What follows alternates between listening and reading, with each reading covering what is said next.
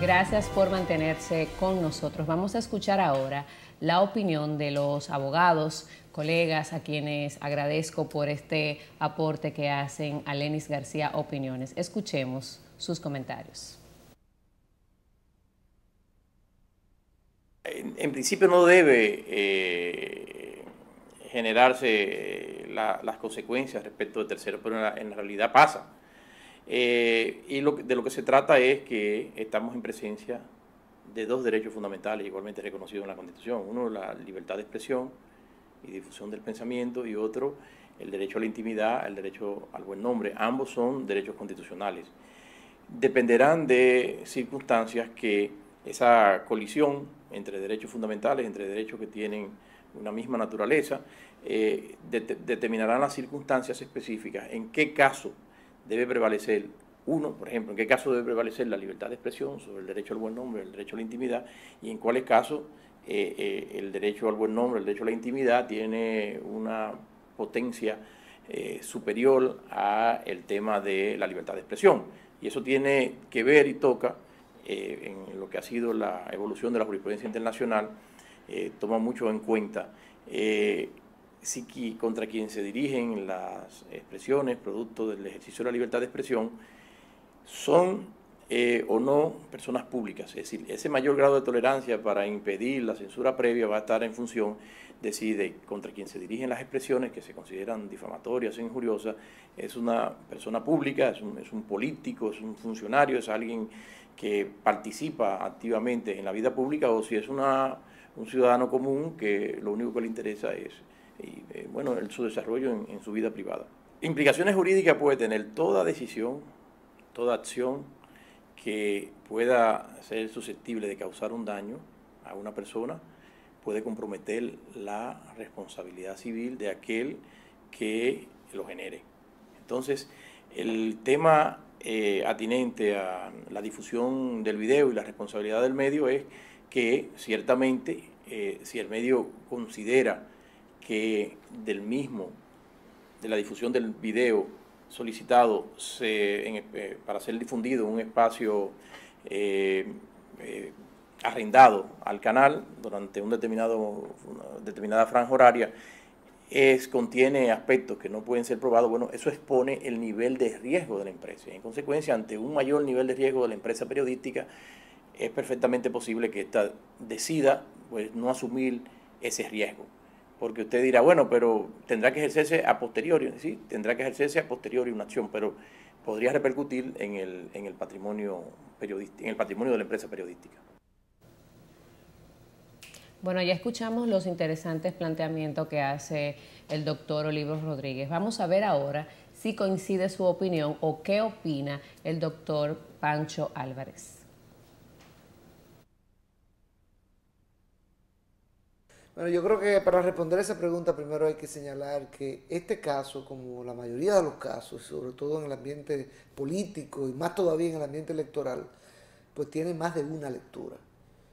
Usted puede hacer una lectura técnico-legal, un abogado que haga un análisis de riesgo, usted puede hacer un análisis político del caso. Y yo me voy a permitir hacer esos dos análisis muy brevemente. Desde el punto de vista político, pues el caso no difundir ese video no representaba ningún riesgo para los medios de comunicación, para el Canal 11 y para el Canal 9. ¿Por qué razón? ¿Ustedes creen que Danilo Medina o sus funcionarios afectados por el video iban a demandar a un medio, a un canal de televisión en plena campaña electoral? Eso hubiese sido un suicidio político. Por eso el riesgo de esa demanda de Danilo o de los funcionarios afectados contra los canales era prácticamente cero. Claro, alguien diría, no, pero Odebrecht también está imputada en ese video y pudiera demandar. Bueno, lo que pasa es que desde el punto de vista político también si se analiza, Odebrecht está colocada en una situación muy difícil. Está haciendo negocios en República Dominicana, construyendo obras, pero esa es una empresa que está siendo perseguida judicialmente en Brasil y en otros países del mundo, o por lo menos investigada, y cuyo presidente está preso por corrupción.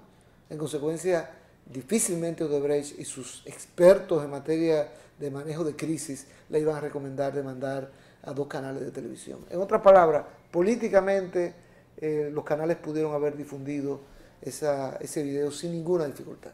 Ahora, si usted recuerda, don Pepín Corripio dijo que lo que hizo fue, como hacen usualmente los empresarios, pasar el tema a su departamento legal, es decir, a los abogados, para que los abogados entonces dieran una opinión sobre el riesgo que corría la empresa o, el canal divulgando ese video.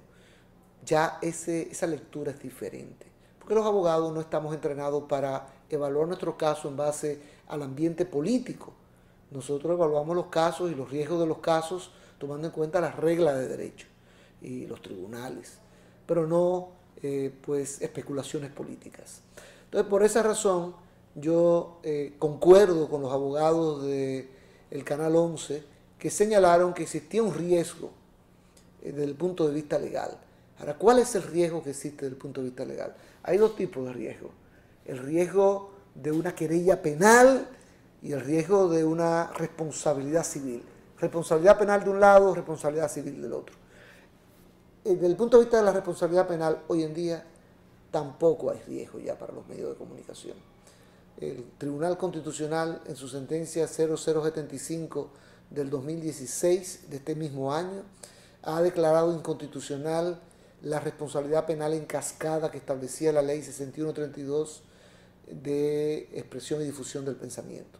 Claro, el hecho de que el Canal 11 y el Canal 9 tuvieran opiniones legales hace sustentable su posición de no divulgarlo, pero me temo que envía una mala señal al resto del país porque va a haber muchas personas que sin tener el sustento legal van a querer restringir también la libertad de expresión y difusión del pensamiento.